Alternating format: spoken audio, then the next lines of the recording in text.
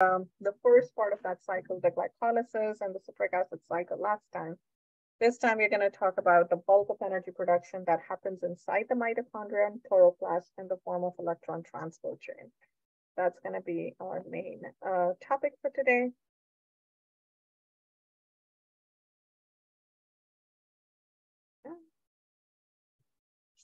Okay, so uh, what are the main parts that we will focus on? Uh, we're going to focus a lot on mitochondria and oxidative phosphorylation and the molecular mechanism of electron transport chain, the different parts of that electron transport chain, the three main enzymes that are part of it, leading up to ATP synthase, which is where most of the ATP is produced. We are also going to be talking about chloroplast and photosynthesis and how that uh, compares with this mitochondrial phosphorylation system as well. And then at the end, uh, we may get to talk about evolution of energy generating systems. So obviously, we've been talking about this already for a week or two, um, that we need energy in order to survive. And in order to get that energy, we usually either utilize um, inorganic substances or organic substances that we consume to get that energy from those sources. Um, electron transport chain is one of the main ways that organisms get ATP generation. This first appeared in bacteria about 3 billion years ago. So looking at these, this system, it is a membrane-bound system to generate ATP. Um, and so you have your energy from food that you're taking in, and you're going to be putting it into the system. You're going to break down those foods into smaller molecules that can be utilized for energy then you convert them to activated molecules like those NADH, FADH, um, and all that good stuff. And then you go through a series of oxidative phosphorylation steps where you take the electrons from those uh, systems, those activated molecules to um, go through the membranes in a series of steps uh, to create uh, energy. On the other end, in plants, you have a little bit different where they cannot just take energy from food. They first has to make the food. And in that case as well, they're going to be taking energy from sunlight and use a very similar electron transfer pump system uh, where they're again pumping protons across the membranes to get that energy production. Chat, I should open up the chat. Yes, so there's no lab this week, right? Uh, the next lab you're gonna have is gonna be after Thanksgiving, and that's gonna be to prepare our posters. Um, I have the video that walks you through basically what I'll do that lab um, already posted in there as well in the assignment. So you could look at it and see how to prepare a template and start working on it if you wanted to work ahead. Um, but that's what you're going to be working on. And then the last lab is going to be our presentation or like our little poster session. Um, there is a little change that I am having you guys post a video presentation as well for the grading purposes in case um, there is some issue that I cannot do the full length uh, poster session where I get come to each group and have you guys present at that time. I will still do Q&A in person uh, that day regardless. Okay, um, so let's look at first mitochondrial energy production. Um, and so we are going to be looking at uh, that electron transfer chain. And so uh, a lot of that is going to be through use of proton gradients. So you're using these hydrogen ions, these positively charged ions to create a proton gradient. And that is what's going to be used to transfer those high energy electrons from one place to another, right? Because you need that uh, transfer uh, to happen.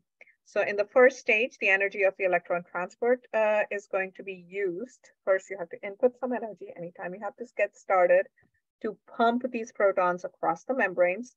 You take those high energy electrons from those activated molecules um, and convert them to lower energy electrons as you go through those proton pumps.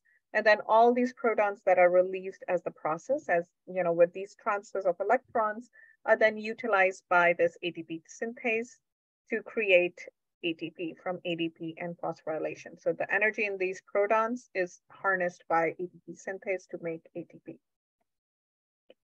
Um, so it's a little bit like a battery, right? That works. Um, cells essentially are harnessing the energy from those electrons and they are converting them um, not just to heat energy, right? Because if you're just having them in a single loop of transfer where you just take the electrons and transfer them to the other side, um, uh, you are going to lose a lot of the energy to heat energy. How, what they are doing is they are using it in a very controlled way so that they can harness some of that energy for their own work and then lose less of it to heat itself and store the rest of it for their own utilization. Um, so this is a, a coupled process, right? Chemiosmotic coupling is part of this process because our cells, without the help of mitochondria, cannot do this. And mitochondria, we've talked about the endosymbiotic theory before, how at some point there were these bacteria and they were able to, um, you know, have the symbiotic relationship inside these eukaryotic cells where they were able to provide this energy. And now it's over time, both chloroplast and mitochondria have become an integral part of the eukaryotic system.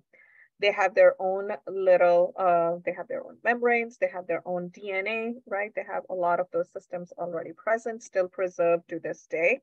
There are genes uh, that are, there certain genes that are only present within those genomes that are not going to be part of our own DNA. So if you look at these two structures, the mitochondria and chloroplast, you'll see some similarities. You'll see those DNA. Those are circular, like our bacterial DNA. And then they have those membranes, the inner and outer membranes in both cases.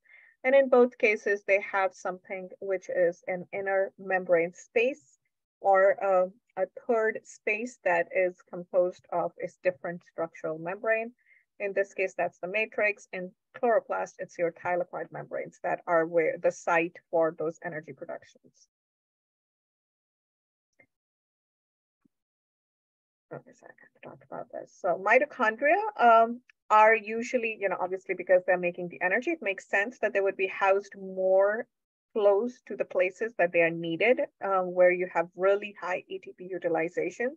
So for example, in a cardiac muscle, they're gonna be uh, housed close to the contractile organelles or contractile spaces so they can provide ready available energy right at the source.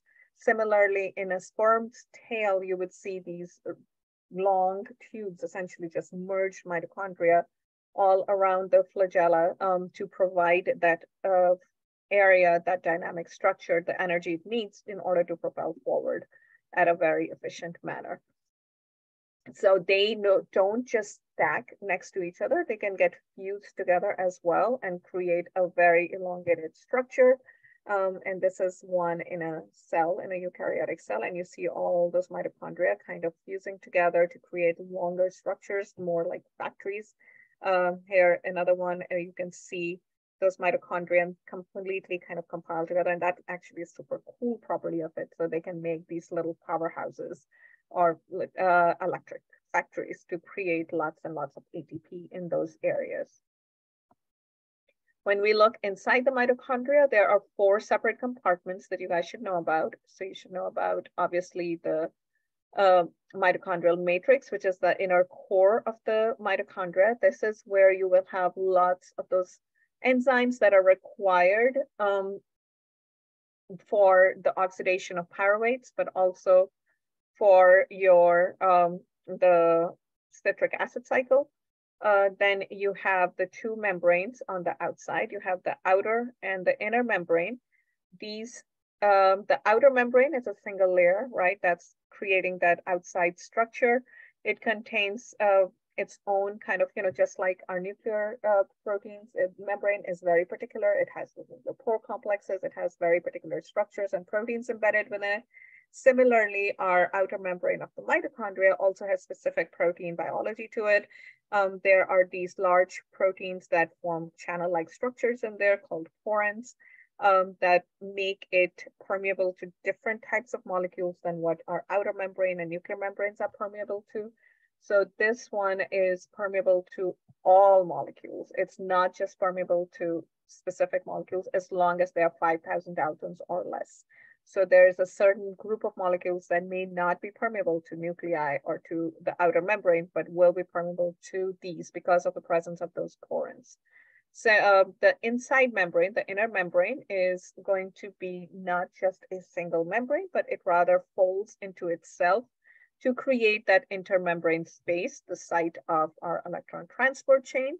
Um, this is where all our oxidative phosphorylation uh, takes place and that ATP production happens.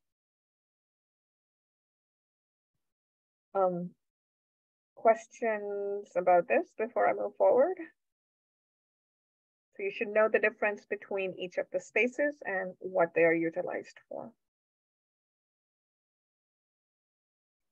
Okay, so for um, obviously the oxidative phosphorylation that requires oxygen, right? In its name, it uh, says it as well. Um, you need the prerequisite of it, that is that your polysaccharides and fats and uh, all the other stuff has been already broken down into appropriate sources. So polysaccharides are broken down to sugars, fats into fatty acids, and those fatty acids can then be metabolized inside the mitochondria uh, to get your acetyl-CoA molecules. And then our sugars obviously are then taken into the cytoplasm as glucose uh, that are then broken down to pyruvates. And those pyruvates are then taken into the mitochondria to create the acetyl-CoA and go into the citric acid cycle. So looking inside the uh, mitochondria, this first part, glycolysis, has taken place outside in the cytoplasm, and now you have your pyruvates that are coming in into the acetyl, converting into the acetyl-CoA cycle, going into the citric acid. Um, this portion is not oxidative phosphorylation, right? This is still enzyme linked. Here, the second part, once you have those NADH, FADH, all those different um, activated molecules available, those are the ones that are going into the inner membrane space. And those are the ones that are going to be part of the oxidative phosphorylation in the form of electron transport chain and then ADP synthesis. So I'm showing you example with NADH. FADH will do the same thing. So your NADH and FADH that have been produced through your first few steps through glycolysis and citric acid cycle are going to be um, used here. They have those two high energy electrons from the sugar phosphorylation, uh, you know, oxidation. Those electrons are what are going to be passed into that inner membrane space. That's where the electron transport chain starts. Um, and that electron uh, donation is going to then release two electrons. Um, it will take those two electrons and take them into the membrane and as a result, release the two protons outside the membrane space. So the bond rearrangement is gonna lead you, leave you behind with the NAD plus uh, from that uh, initial NADH and the protons are gonna go out of the membrane, um, that inner membrane and uh, the two electrons are gonna get passed to the next molecule in the, in the chain. So there are three different molecules that we will look at in that inner membrane space that these uh, electrons will move through as they go through the electron transport chain. Uh, so you're getting those NADH that are going into that first molecule, um, getting rid of protons. And then as they move through those three different enzymes, uh, or you are going to see similar uh, protons getting released that are all going to be utilized by the last enzyme, which is the ATP synthase to create um, the ATP. So these high energy electrons are basically powering, they are the ones that are starting the energy process. They're starting this uh, pump essentially from working it into work and creating the ATP synthase. Um, and this is an example of that again, where you have those NADH giving in those um, electrons and then they are going to be passing through those three enzymes, um, leaving protons in that inner membrane space. Those protons are gonna charge ATP synthase and create ATP from ADP and phosphates that are coming in. Also, this process will require oxygen as the final acceptor for these electrons. And when that happens, they are going to be converting uh, in, into water molecules. so energy in the form of NADH uh, will combine with um, protons and oxygen to produce NAD plus and water.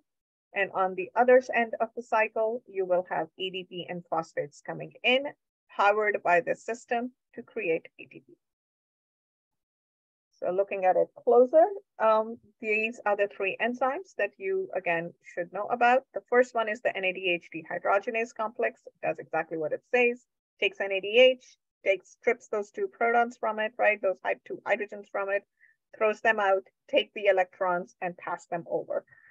The next one is the cytochrome C reductase complex, which is going to take the electrons that are coming in from this first enzyme through ubiquinone, and that ubiquinone is going to go into the cytochrome C reductase complex, and then as a result will release cytochrome C um, and protons again into the intermembrane space.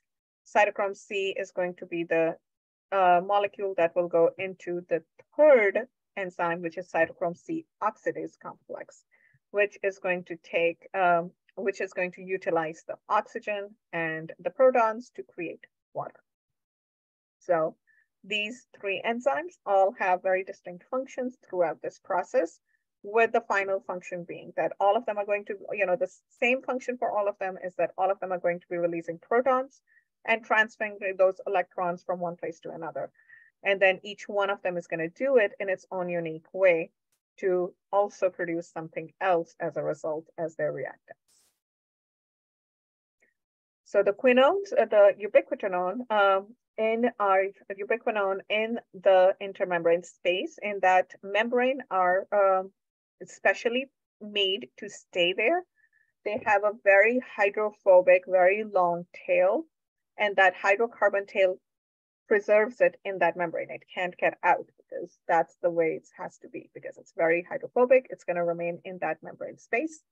Um, these quinones carry, all they do is they carry electrons within the lipid layer. So they take them from that NADH reductase, uh, dehydrogenase, and they move it into the next molecule. Um, and they do that by, you know, uh, taking those electrons again and uh, becoming into reduced ubiquinone. Once they have transferred theirs to the cytochrome C, cytochrome C itself can bind to many, many different uh, compounds because of the structure that it has. And uh, one of the structure that it combines with is heme, um, which contains obviously, you know, your iron in there, but it is going to use that. It is a very versatile electron carrier. Uh, these metals that can bind to it because of its structure um, can make it more available for a lot of different molecules to utilize to react with.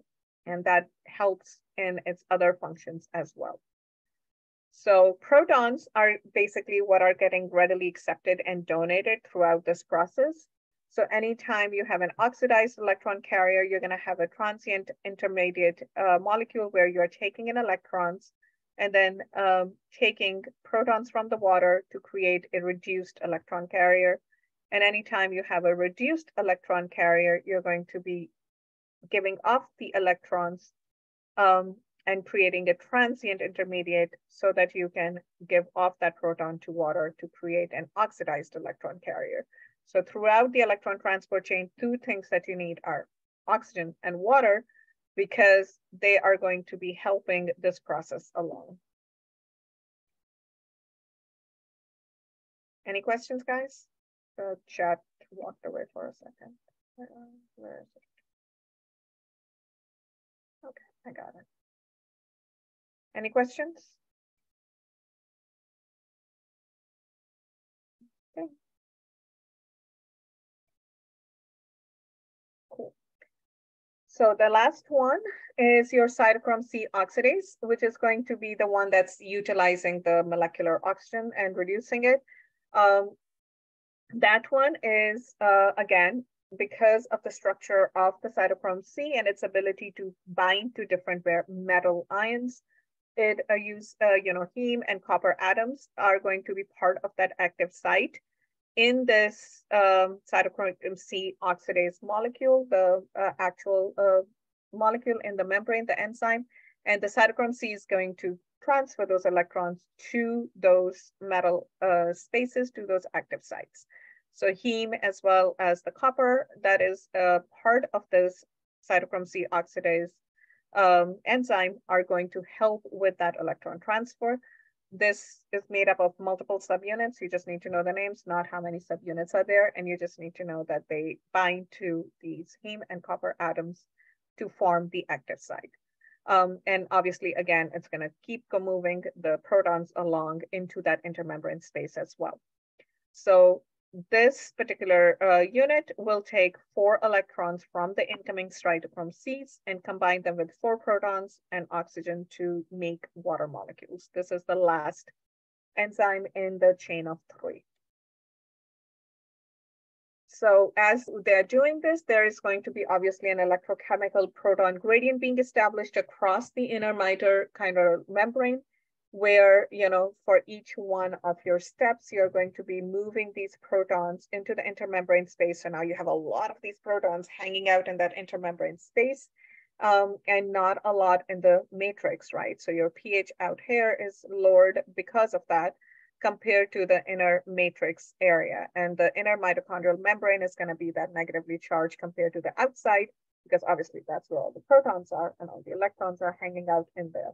So there is an electrochemical proton gradient as well um, happening uh, because of that. And there is also a pH gradient because of that, right? So you have the electrochemical gradient as well as uh, the pH gradient that and both are respond helpful in this process.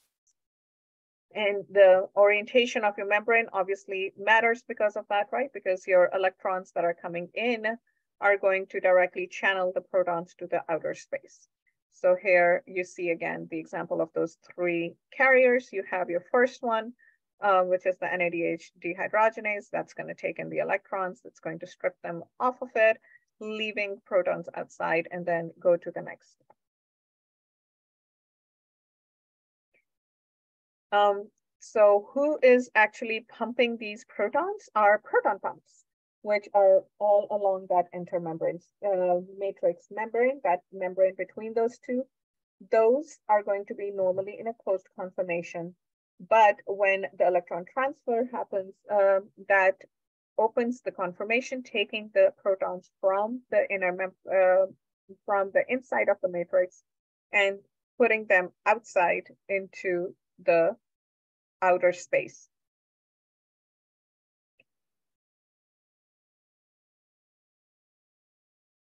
Again, as each step happens, you're going to get more and more protons out, even though you have already a lot of protons on the outside, they will continue to go out because of the electrons getting transferred from one enzyme to another, creating that uh, gradient so that it can continuously shuttle uh, these protons into the outer space. Outside in that space, as they get pulled together, they will be recruited by ATP synthase that is going to keep bringing them in to create ATP, keeping that electrochemical gradient going so that you can still continuously pump these electrons and move uh, them forward in that direction. If this wasn't working, you would stop the electron transport chain because all the protons would be on the outside and the electrochemical gradient would not be maintained. But because the ATP synthase is charged at that by those abundance of protons and they keep recruiting them in to create ATP, you keep that electrochemical gradient moving in that space. Um, the way that works is that those protons are recruited into this uh, ATP synthase. Uh, and this is the way it runs. And as they do, it rotates this upper structure. So that structure is going to rotate uh, and that rotation is going to lead to synthesis of ATP. I think I had a video of it, which was really cool. I hope it's still, that link is not broken. I really like the it showed it. Oh, I just want to open it. I don't care. It works like a turbine to convert the energy stored in the proton gradient into chemical energy stored in the bond energy of ATP.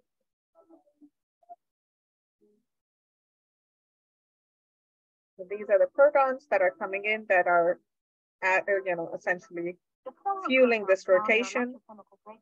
drives a rotor that lies in the membrane. It is thought that protons flow through an entry open to one side of the membrane and bind to rotor subunits. Only protonated subunits can then rotate into the membrane, away from the static channel assembly. Once the protonated subunits have completed an almost full circle and have returned to static subunits, An exit channel allows them to leave the other side of the membrane. In this way, the energy stored in the proton gradient is converted into mechanical rotational energy. The rotational energy is transmitted via a shaft attached to the rotor that penetrates deep into the center of the characteristic lollipop head, the F1 ATPase, which catalyzes the formation of ATP.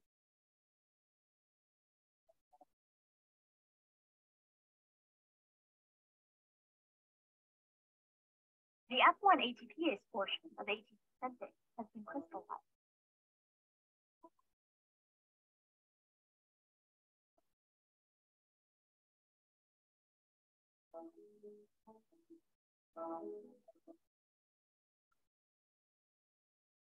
Isn't it cool?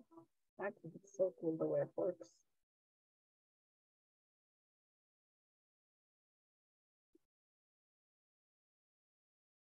Its molecular structure shows that the position of the central shaft influences the conformation and arrangement of the surrounding substance. It is these changes that drive the synthesis of ATP from ADP. In this animated model, different conformational states are lined up as a temporal sequence as they would occur during rotation of the central shaft.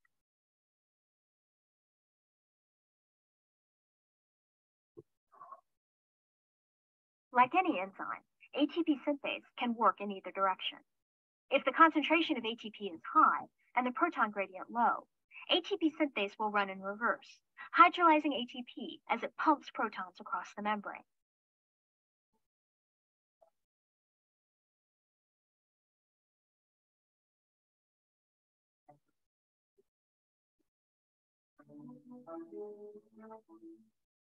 To show the rotation of the central shaft, a short fluorescent actin filament was experimentally attached to it. Single filaments attached to single F1 ATPases can be visualized in the microscope. When ATP is added, the filament starts spinning, directly demonstrating the mechanical properties of this remarkable molecular machine.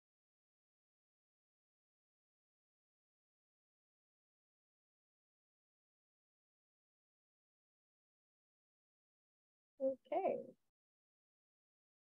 So um, these are some of the portions that you were uh, you should know about. From the structure, you should know about the rotating head. Uh, that it's again a multi-unit complex. It has several uh, uh, several subunits of the protein combined together to create that rotation. Uh, each one has an active site for binding of these protons that recruits these protons that causes it to go into the membrane or rotate into the membrane.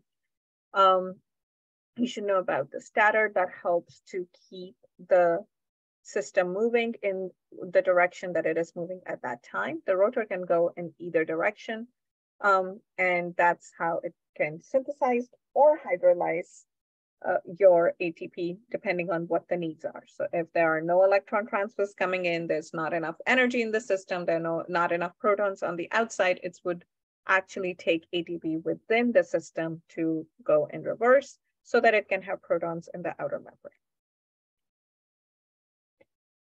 So here you have the various parts of that structure in a more 3D form. So it's not a single protein, as I said, it's a bunch of different proteins that are coming together to create this ATP synthase uh, in its fully working form. Some of those protein uh, structures are going to be embedded within the membrane. So the rotor ring that carries the protons are membrane embedded. And then there are other portions of the stator that are um, membrane embedded as well as some that are going to be uh, conversing with that ATPase head that is going to be creating the ATP in that site. And then there is a central shaft that combines those two together and rotates. So the electron transfer releases a very large amount of energy. That's where most of the energy from those molecules are released. Uh, again, just to remind you, and to show how that uh, process goes and how that redox potential. So this is telling you how much energy was stored in those electrons at the first point. At each point, you are losing some of that energy and taking, transferring the rest to the next molecule. So each time those electrons are slightly less uh, energy uh, producers, and then eventually leading to that uh, water molecule release. So the NADH, that is the first activated molecule. That's the most energy containing molecule in this structure, in this uh, equation. It's going to go through the NADH dehydrogenase complex and then transfer those electrons to the ubiquinone. That ubiquinone is going to have a lot lower uh, potential than the NADH did. Um, those ubiquinone will then go into cytochrome C reductase complex to convert it from ubiquinone to cytochrome C. Um, and that cytochrome C is then going to go into cytochrome C oxidase complex to utilize oxygen and release water. And all it is going to produce 26.2 kilocalories per mole uh, per electron. So that's about 52.4 kilocalories per mole for each of the NADH molecules that you have. Um, this is driven uh, again through coupled uh, change, right? So you have all these processes happening coupled to each other to make them move forward because some of them are extremely energy producing and others are not as energy producing. So this process wouldn't happen unless you had pyruvates coming in, going into the citric acid cycle, doing all that stuff, right? So in the beginning, you know, you have the pH gradient driven through the pyruvate import into the mitochondria. And then on the other end, you have the voltage gradient driving the ADP to ATP exchange that's driven by those proton pumps. And then um, your ATP synthase is going to be maintaining that gradient. Uh, And finally, the pH gradient is also going to be driving the phosphate import because it, without it, you wouldn't be able to take in the phosphate just like you wouldn't be able to take in the protons either. So, oh, chat question. Yes, there is a limit to how many uh, molecules can bind to the rotor heads. There are only so many spaces in there. I believe there are seven uh, but I will confirm. So that's as many protons that it can take at a time. Okay, so in glycolysis, you had um, first started the process by taking in two ATP molecules, and then as a result, you had produced a net yield of two, uh, two ATP at the end when you got the pyruvates. In pyruvates oxidation to acetyl-CoA, you didn't get any ADP, but you did get some NADH molecules that were transferred into the mitochondrial matrix.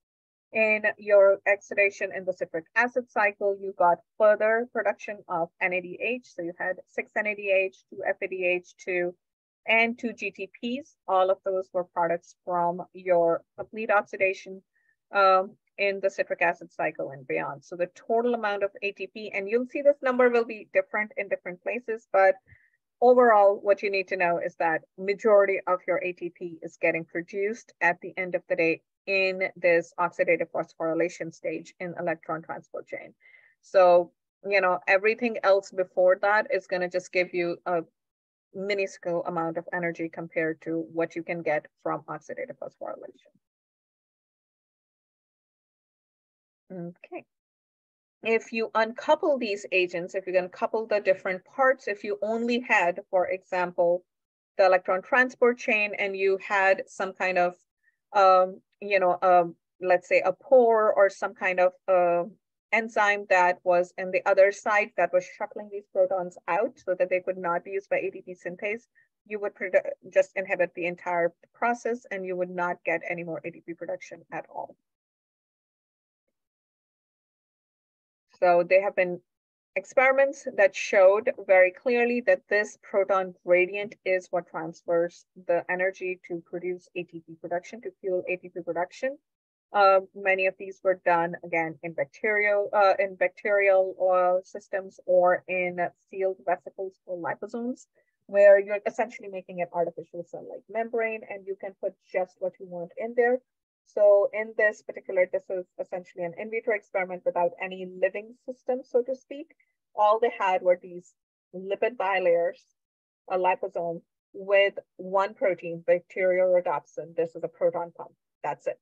And they but um, you know, uh, allowed it to take the energy from light and it was able to shuttle protons into the space, but there was no energy production. Then they had another liposome where they had just the ATP synthase, no bacterial bacteriorhodopsin, and they exposed it to light and there was no ATP generation, even though they had all the components inside. The only times ATP was generated was if you had both ATP synthase and the proton pumps present in those liposomes.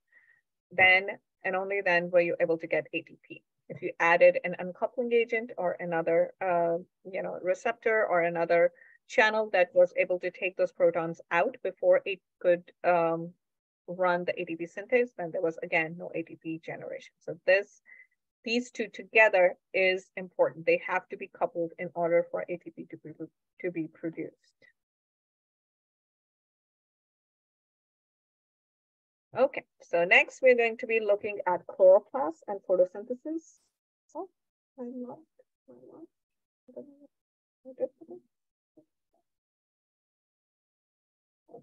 Know.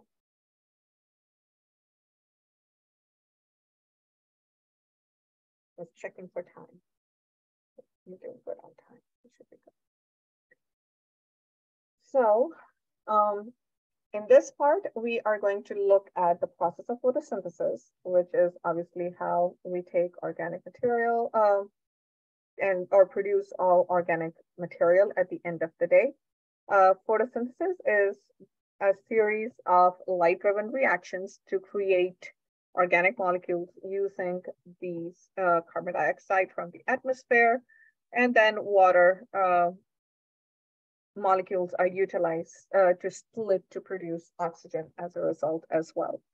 Photosynthesis is going to generate and then consume ATP and NADPH. So that is a way for it to first make its food and then utilize the energy through respiration, which is going to be similar to what we just went through um, right now. The initially when photosynthesis started in bacteria through photosynthetic bacteria, that's what filled our atmosphere with oxygen and enabled um, all the aerobic metabolism that allows ATP to be used as our main energy source. So looking at chloroplast, just like mitochondria, we talked about it, it has very specialized membrane. Each membrane is a little bit different. Each part of it is a little bit different in its composition and the work that it can perform. Um, so here you have the chloroplast inside your uh, cell. Looking at one of these in um, detail, you will see it has these chlorophyll containing thylakoid membranes that are stacked on top of each other and then you have, again, an inner and an outer membrane as well. And that's important for, again, its functioning because each part of those membranes is going to have very different biology and different enzymes associated with it. These thylakoid membranes, these stacks are your granas that are stacked on top of each other, um, and they make these structures called your thylakoid membranes. Um, so the photosynthetic electron transfer reactions happen in these thylakoid membranes, these granas that are stacked in here um, in two different stages. Stage one is what we call light reactions, and stage two is what we call light independent reactions. So in that first stage, you require sunlight to store the energy that is then going to be utilized um, to in the form of ATP and NADPH to create your organic material like sugars and amino acids and fatty acids and all that good stuff. In the light reactions, they require also input of water. And in your light independent reactions, which are your carbon fixation cycle in the second half, you require input of carbon dioxide. So there are two very distinct stages of this process that are happening there light in here is essentially going to behave like our protons uh, or that, you know, all those protons that were being generated and utilized uh, in the mitochondrial membranes. So all uh, the light that is coming in is essentially uh, going to be a stream of particles called photons. It's going to have some packets of energy, right? It will provide it some energy because of that. Um, how much energy it stores is direct, inversely proportional to the wavelength. So the shorter wavelengths are going to have higher quantum of energy than longer wavelengths. The photons are absorbed by pigments associated with whatever wavelength, whatever color of light that wavelength represents, right? And that energy is transferred to electrons and those electrons that are charged by those photons, those little packets of energy, are going to be excited and called in photo excitation stage. So sunlight is absorbed specifically by those chlorophyll molecules. Chlorophyll contain, um, again, a ring structure that is very, very similar to something else that you looked at in the electron transport chain. It is also, uh, you know, and it is, it is porphyrin. It is this ring structure and it has, again, a very hydrophobic tail region that is going to keep it in that membrane space, in that thylakoid membrane space. Um, that similar to how ubiquinone had, because of its hydrophobic tail, stays in the membrane space. The light is absorbed by the electrons in this ring structure. It's stabilized by, again, metal ions, in this case, magnesium ions. Um, the chlorophyll, uh, chlorophylls is the main pigment that you see inside, obviously, our plants. And it absorbs light of both blue as well as red wavelengths. So on either side of your visible spectrum, there are areas that it is able to absorb and store, which is great, which is probably why it is one of the more abundant ones. Um, other pigments are also present at the same time in various plants in various proportions, and those other pigments will take in light of different wavelengths to us that is associated with whatever molecules they have. So here are examples of some of those pigments that are present and those spectra that they uh, will absorb. So you have your chlorophyll A and B, which are your top two, and then you have all these other ones like carotenoids and phycobilin, all those other ones are going to have different wavelengths that they're absorbing. But if you combine all of them together, you see that pretty much everything is covered between them all. So they have really high absorption efficiency, uh, efficiency across the entire visible spectrum. Once you have excited your chlorophyll molecules, they are going to funnel that energy into a reaction center um, because these excited electrons are obviously in a charged state, they're not as stable. They would always return back to stable ground state. And they will do that by one of three methods. They can either fluoresce um, and release it as light and heat. They can do resonance transfer where they can transfer that energy to another electron nearby, or they can do an entire electron transfer like we did an electron transport chain to remove the pigment, uh, the, excited electron from that pigment and carry it to a carrier molecule. So knowing the way that we um, look at these things, obviously, you know, this is just reminding you again that pigment molecule, when it is uh, charged by a photon, is going to get higher energy state. Uh, this is its excited state because the electron has gotten charged and moved to a different valence, like a valence stage in a higher energy orbital. Once it loses that energy, it will fall back into its ground state, which is its normal native space. Um, okay, so that was just trying to be a repeat of my own slide because I didn't just couldn't decide which way to keep. Okay, so uh, a photosystem in our uh, chlorophyll is going to actually work very much like an electron transport chain. Um, so it is going to take the electrons that are getting taken in to charge the chlorophyll molecule in one, and it is going to move it to another, and then to the reaction center where you have a special pair of chlorophylls, and we'll talk about what those are. So all these different uh, pigments that are present here, they are light harvesting, essentially antenna complexes that can take the energy from these and charge electrons within them.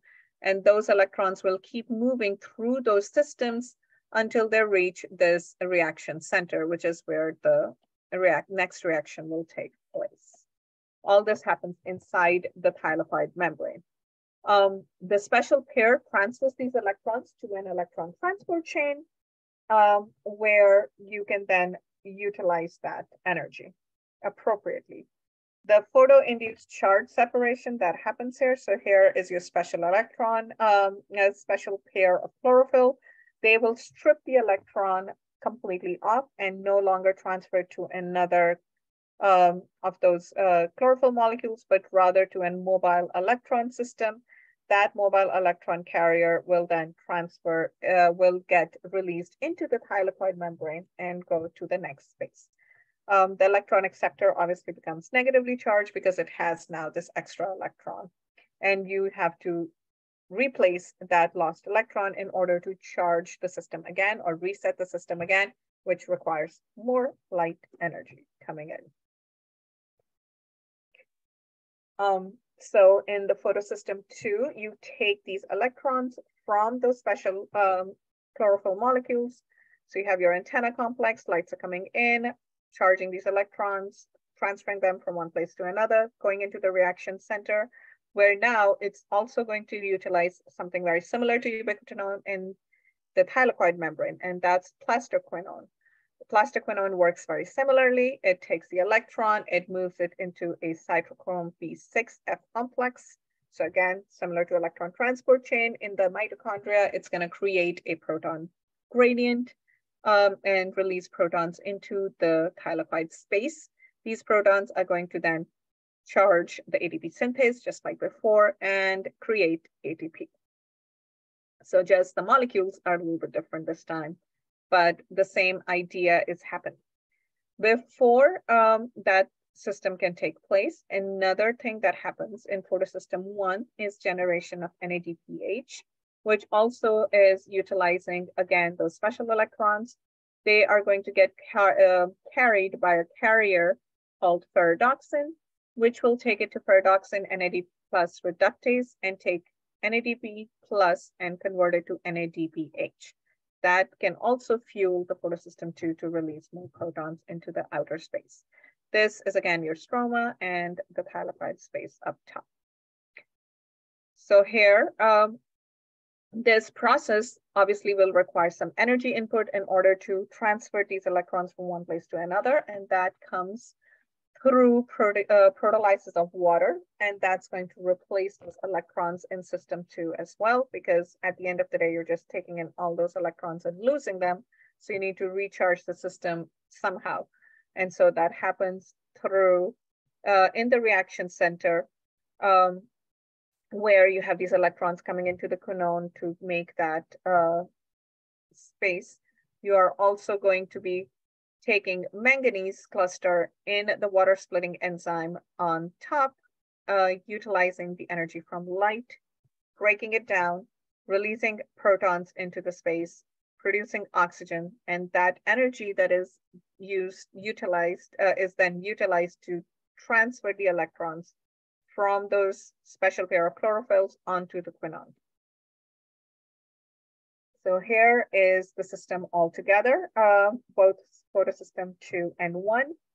So in photosystem two, you have the light coming in, charging your chlorophyll, transferring those uh, the energy, the electron into the photo uh, into the reaction center, where water splitting enzyme will take, you know, using manganese and water is going to uh, run the reaction to transfer the electrons into the quinone to create plastoquinone.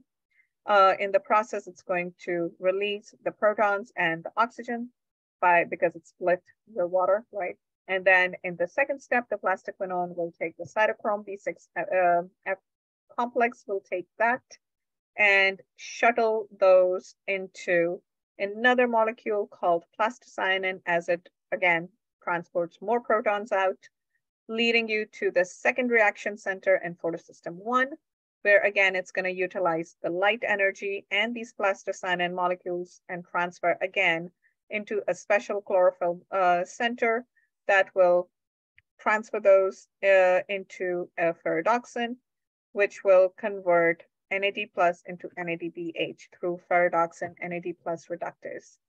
All this produced protons that are, you know, accumulated into the thylakoid space, and those protons are then utilized by the ATP synthase to create ATP. questions about that?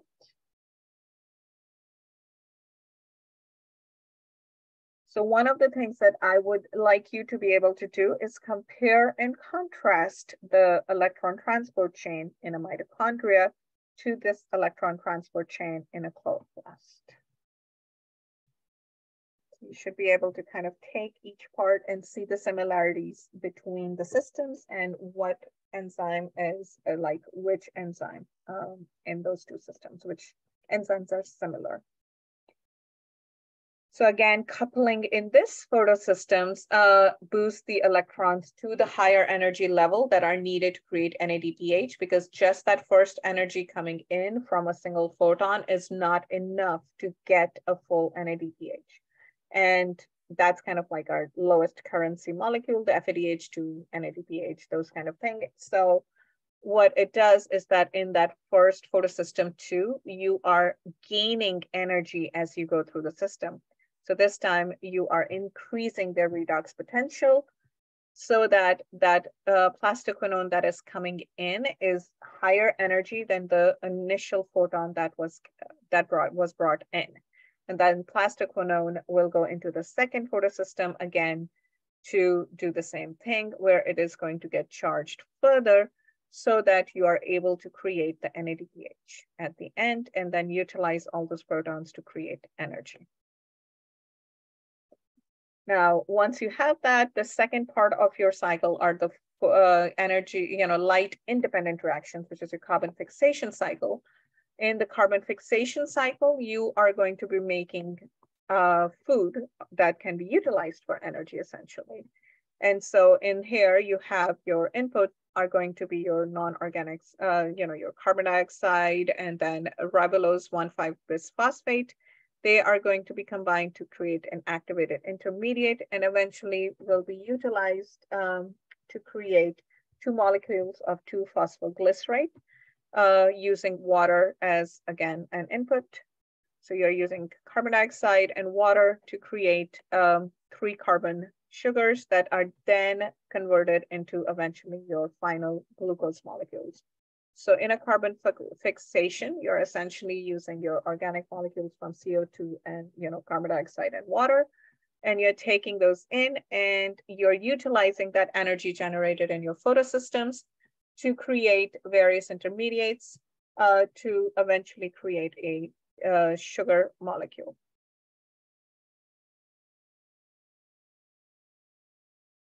Those molecules can then be utilized to create other, in, uh, other organic molecules as well, like fats and amino acids. So plants are going to store carbohydrates in their chloroplasts. We've talked about those before. And they also have fat droplets inside those chloroplasts. So they are also the site of energy uh, storage.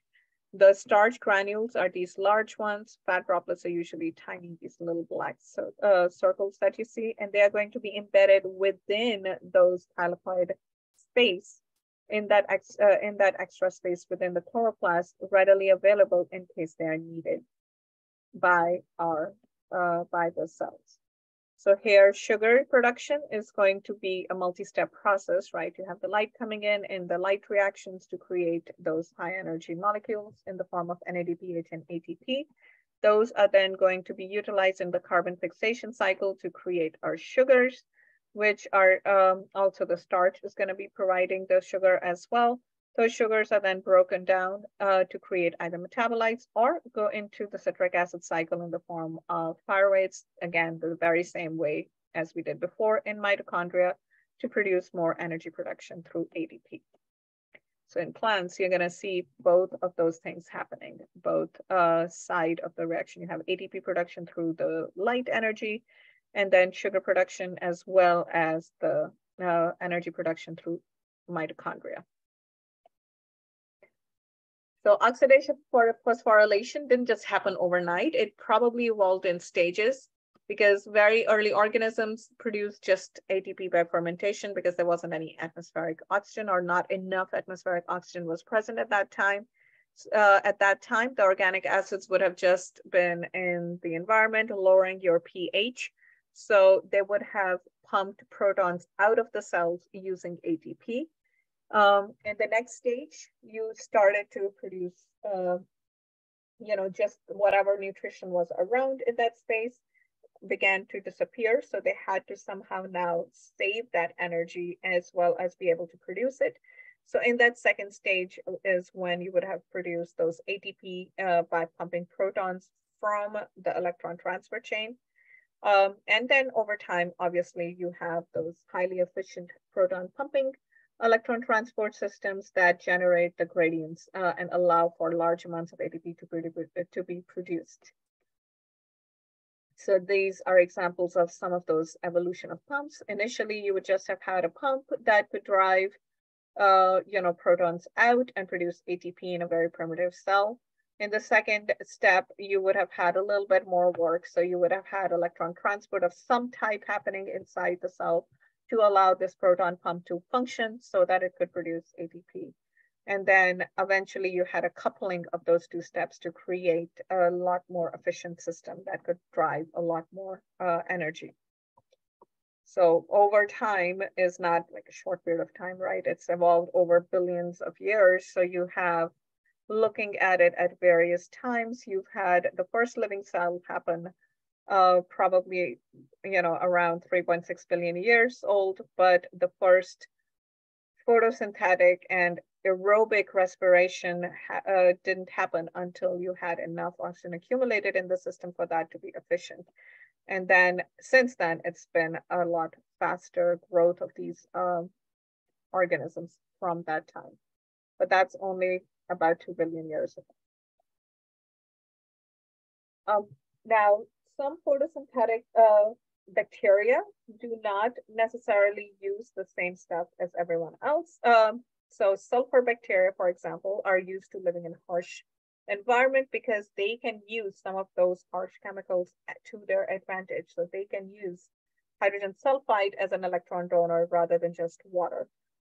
So this is one of the things that likely started, you know, something similar to that. Those organisms that were living in those harsh environments, being able to metabolize those harsh uh, substances is partly how this system would have started to evolve to begin with, because they could utilize that just the protons from those hydrogen sulfides and use them in their photosystem to again just get NADPH and then eventually ATP. Another example of something like that is Methanococcus um, that live in hydrothermal vents, and they use hydrogen gas um, that are bubbling through these vents as a way to run chemiosmotic coupling because they, again, have that source available and they're able to utilize it. They can survive in those uh, extreme conditions. Questions? Actually did good on time.